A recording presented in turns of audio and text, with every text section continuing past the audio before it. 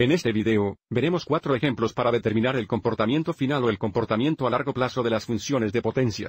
Para una revisión rápida, cuando x se acerca al infinito negativo, nos estamos moviendo a la izquierda a lo largo del gráfico. Y a medida que x se acerca al infinito positivo, nos movemos a lo largo del gráfico. Y si los valores de la función, o los valores y, suben, las funciones son sus valores y, se acercan al infinito. Si los valores de la función, o los valores y, bajan, los valores de la función se acercan al infinito negativo.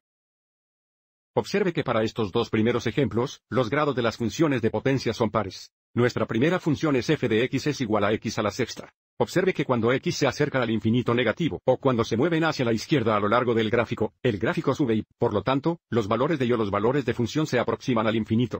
Lo que significa que cuando x se acerca al infinito negativo, f de x se acerca al infinito positivo.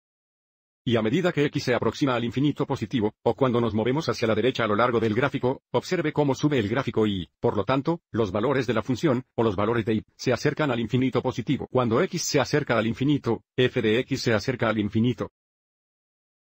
Y ahora echar un vistazo a f de x es igual a x negativa a la cuarta. A medida que x se aproxima al infinito negativo, o cuando nos movemos hacia la izquierda a lo largo del gráfico, el gráfico baja y, por lo tanto, los valores y los valores de función acercarse al infinito negativo. Cuando x se acerca al infinito negativo, f de x se acerca al infinito negativo. Cuando x se acerca al infinito positivo, o a medida que nos movemos hacia la derecha a lo largo del gráfico, observe cómo el gráfico baja y, por lo tanto, los valores de y o los valores de función se aproximan al infinito negativo. Cuando x se acerca al infinito, f de x se acerca infinito negativo. Nuevamente, observe cómo para ambas funciones de potencia, los grados son pares. Pero para la primera función, f de x es igual a x a la sexta, a es 1 o positivo, y para la segunda función, f de x es igual a x negativa a la cuarta, a es negativa o negativa. Siempre que tengamos una función de potencia con un grado par ya sea positiva, este siempre será el comportamiento final, y cuando el grado es par ya es negativo, este siempre será el comportamiento final. Ahora echemos un vistazo a dos ejemplos en los que el grado es impar. Nuestra primera función es f de x es igual a x al cubo. A medida que x se aproxima al infinito negativo, o cuando nos movemos hacia la izquierda a lo largo del gráfico, observe cómo el gráfico baja, y por lo tanto los valores y, o valores de función se aproximan al infinito negativo. Cuando x se acerca al infinito negativo, f de x se acerca al infinito negativo. A medida que x se acerca al infinito positivo, o cuando nos movemos hacia la derecha a lo largo del gráfico, el gráfico sube, y, por lo tanto, el valor y o los valores de función se aproximan al infinito. Cuando x se acerca al infinito, f de x se acerca al infinito. Y ahora echemos un vistazo a f de x es igual a x negativa a la quinta.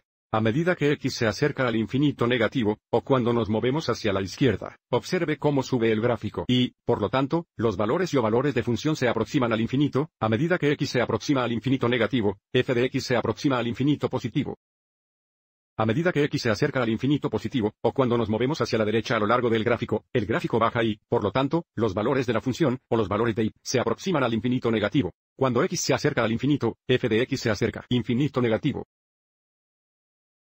De nuevo, observe cómo ambas funciones de potencia tienen un grado impar, pero para f de x es igual a x en cubos, a es 1 o positivo, y para f de x es igual a x negativo al quinto, a es negativo o negativo. Siempre que tengamos una función de potencia con un grado impar, ya sea positivo, este siempre será el comportamiento final, y cuando el grado sea impar ya sea negativo, siempre será el comportamiento final. Resumamos esto con una tabla.